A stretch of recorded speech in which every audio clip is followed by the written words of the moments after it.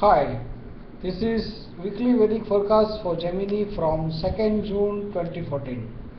First of all, about health. Have to take care about health as Sun is passing in the 12th house from your sign. What about business and career? Business and career will remain good as Jupiter is passing in your sign. And what about love matters?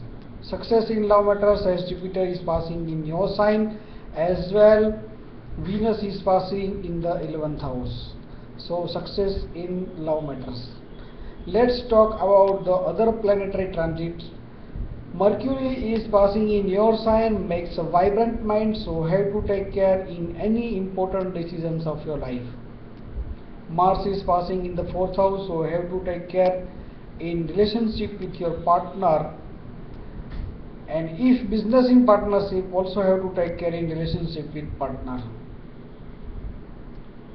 saturn and rahu is passing in the fifth house so have to take care in relationship with children's and also not to go for share satta and lottery regarding works.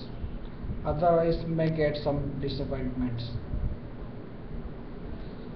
So this is quite good week and moon transit in this week is from second house to fourth house.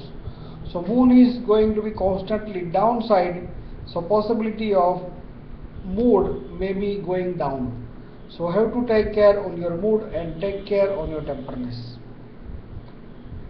if you have any friend of gemini please share this video with them. Subscribe channel. Thanks for watching